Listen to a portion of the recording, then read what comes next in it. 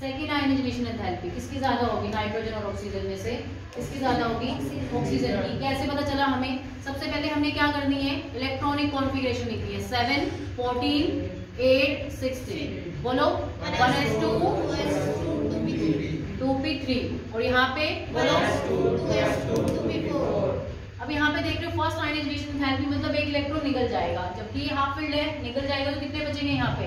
Two electron और जब यहाँ से एक इलेक्ट्रॉन निकलने के बाद ऑक्सीजन क्या हो जाएगा? Half filled oxygen half filled होगा दैट मींस ये क्या है? Stable electronic configuration half filled है फिर भी क्या है ये? स्टेबल इलेक्ट्रॉनिक कॉन्फिग्रेशन तो यहाँ पे क्या होगी? आयनाइजेशन एंथैल्पी सेकंड क्या हो जाएगी?